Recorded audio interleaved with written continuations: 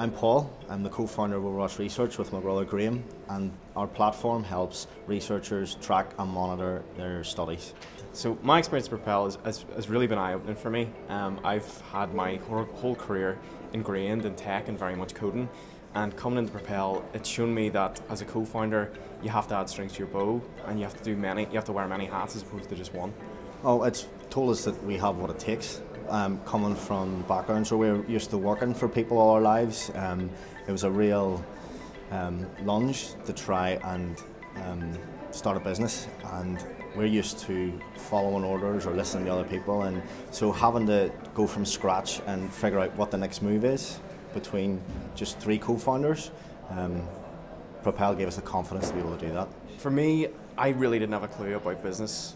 I didn't have really have a clue about customer engagement as I said before, my, my career was really ingrained in tech. And now I have the confidence to go ahead and, and, sell our product and speak to customers and do that, that customer research that we wouldn't have done before. Even silly things like managing business finances and expenses has now become second nature to us, whereas before it was like looking at, hieroglyphs. It's, it's taught me how to be a better designer because before, as I mentioned, that we were following orders. And any studio I'd worked in in the past, I listened to a client executive, they told us what the client wanted, and then we went and actioned that.